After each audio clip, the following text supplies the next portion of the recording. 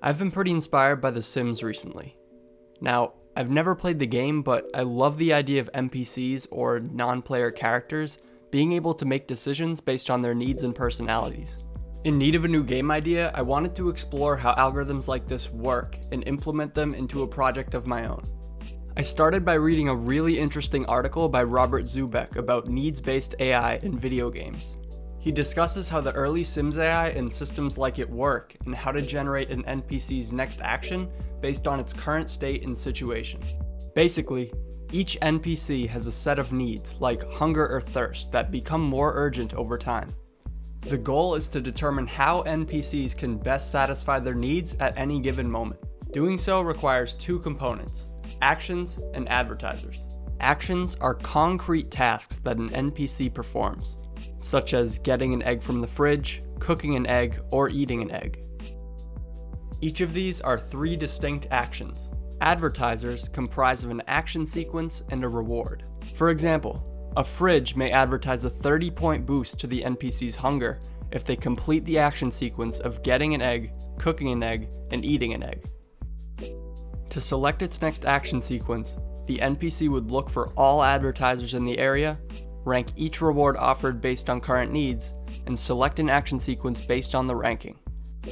Rewards can be ranked in many ways, but my personal favorite is using attenuation functions.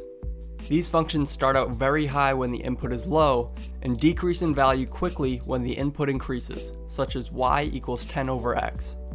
How is this helpful with action selection? Let's take hunger for example, where a hunger value of 100 means that the NPC is completely full.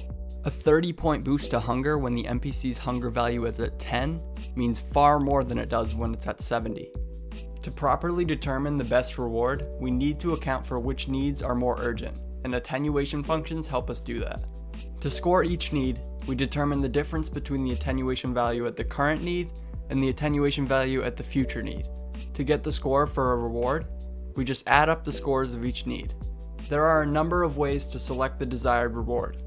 You can select the reward with the highest score every time, randomly select among the rewards with the highest scores, or attach weighted probabilities for selecting each reward based on ranking.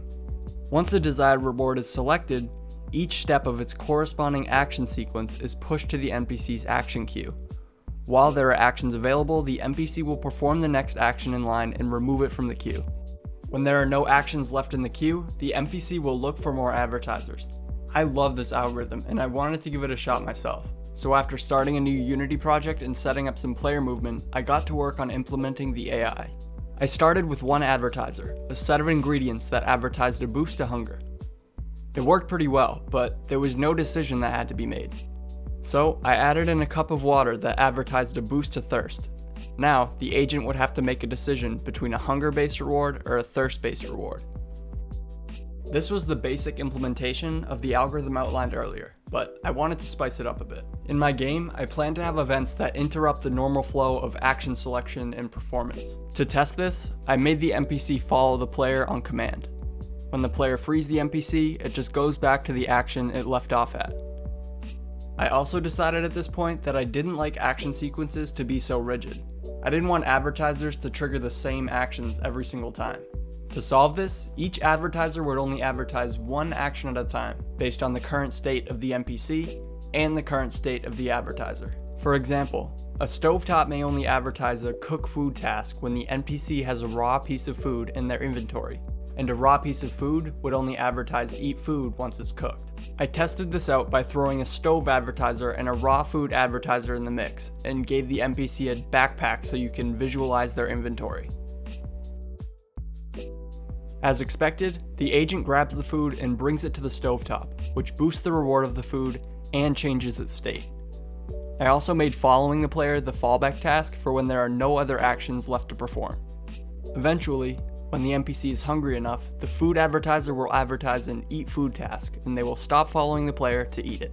To spice up the algorithm even more, I wanted to add personality parameters.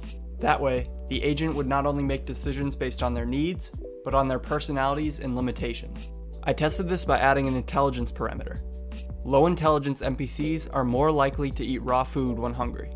After adding water back in the mix to make things a bit more interesting, I was really happy with the result.